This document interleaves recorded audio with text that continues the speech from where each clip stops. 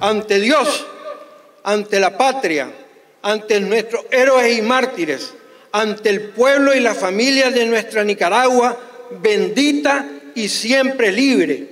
Jura solemnemente respetar la Constitución, las leyes, los derechos y las libertades, cumpliendo fielmente las responsabilidades y deberes que el pueblo nicaragüense le ha conferido. Sí, lo juro.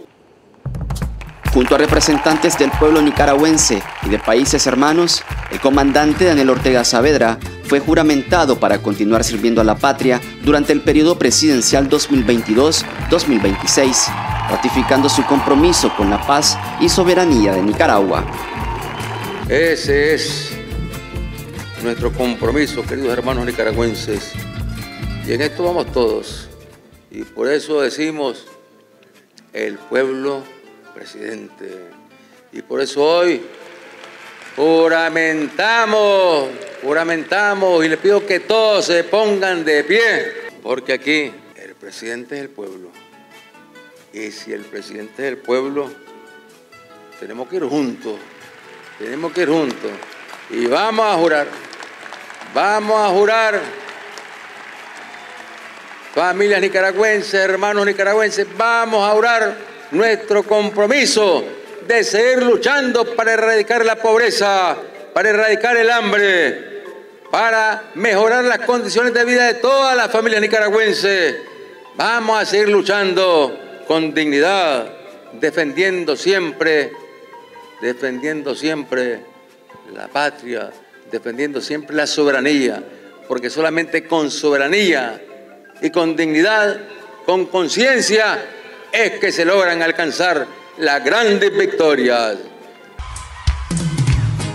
Estas elecciones presidenciales marcan un hito en la historia de Nicaragua porque son las primeras después del fallido intento de golpe de Estado y el pueblo presidente ratificó a su líder, a su máximo representante para continuar por caminos de victorias en la defensa de la paz, la soberanía, la estabilidad y el progreso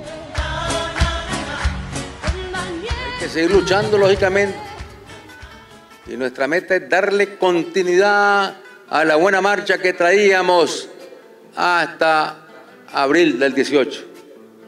Eso, borrón y cuenta nueva. Y vamos adelante, queridos hermanos nicaragüenses, construyendo paz para combatir la pobreza, construyendo paz para que puedan haber carreteras y caminos construyendo paz para que las familias nicaragüenses se sientan seguras de sus hijos, se sientan seguras de su trabajo, se sientan seguras de tener una vida digna. Para el buen desarrollo de esta jornada, la Policía Nacional ejecutó un plan especial de seguridad para garantizar orden y tranquilidad, así como la custodia a las caravanas de los invitados especiales, la regulación operativa y el resguardo en los barrios y espacios donde el pueblo nicaragüense se convocó para seguir de cerca la toma de posesión del pueblo presidente.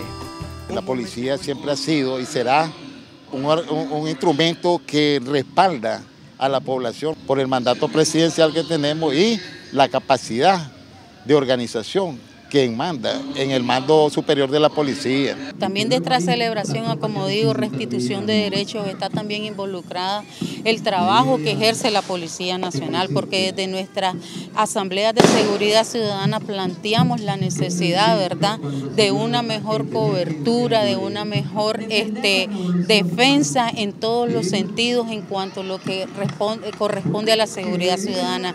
Esto es seguir profundizando las líneas de progreso y de victoria, las líneas de paz, las líneas de amor, pero sobre todo devolviéndole a las comunidades más desposeídas todo aquello que el neoliberalismo y el somocismo le quitaron.